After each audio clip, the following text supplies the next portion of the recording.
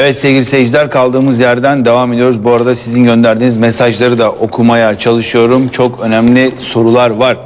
Bu bölümde çok değerli iki konuğumuz, iki bilim adamıyla konuyu tartışacağız. Doktor Sinan Genim, hoş geldiniz. Hoş Profesör Doktor. Ahmet Vekif- Vefik Alp, siz de hoş geldiniz. Hoş bulduk. Şimdi sizde maketler de var, bayağı aslında haritalar da var.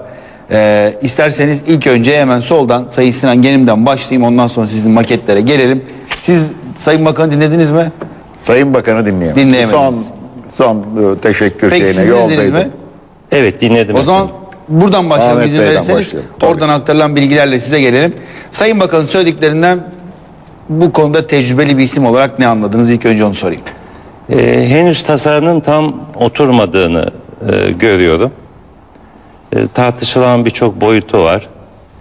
Tabii Sayın Bakanımız çok iyi niyetli bir yaklaşım içinde. İşte anlaşacağız, ibadet edeceğiz, işte el sıkışacağız diyor.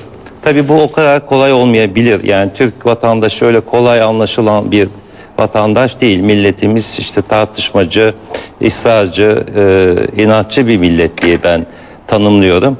E, öyle kolay kolay anlaşmak mümkün olacağını düşünmüyorum. Bir başka tespitim Sayın Bakanım işte 70 bin lira eden dairesini alacağız. 120 bin liralık bir daire vereceğiz. Aradaki farkı işte 5 senede 10 senede alacağız dedi. Kredilendireceğiz dedi. Evet e, ben e, insanımızın para verebilecek durumda olduğunu da genel olarak düşünmüyorum. E, henüz e, oturmamış tam daha doğrusu öyle söylemeyeyim tam olgunlaşmamış bir takım çalışmalar bekleyen bir proje. Esasında proje 3G ben bunu 99 yılında yaptım. O 3G kültür Kaliteli beton. çıkar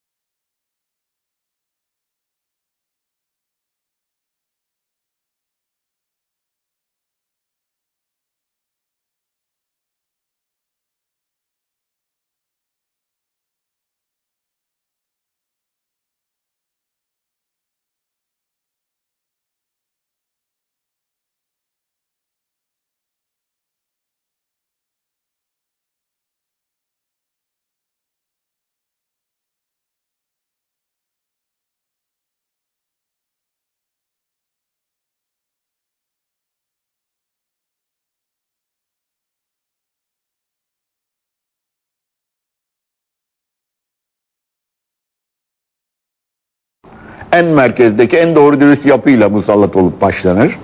Onun için bunun bir şeyini kurmak lazım. Sonra bakın bu iş oradaki yanlış bir şeyi düzeltmek için yapılan iş ülke sattığına yayıldığı takdirde mimari filan kalmaz. Her yerde aynı türden yapıları görürüz. O tamam O fakülteleri bu eğitimi de kapatalım. Diyelim ki artık Türkiye'nin buna ihtiyacı yok. Yani yaratıcılık kimlik kimlik kalmaz. Yani, Yani- olmaz böyle bir şey. Hayatınızda bu kadar birikim sağlamanız, yapmak için uğraşmanız, bize deney zaten almanız. mimari bir kimlik yok ki şimdi.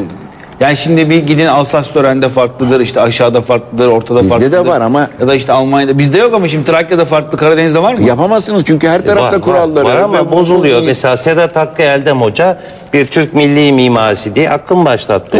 Bir sürü Onu yalı takip eden Emin Onatlar var, Evet.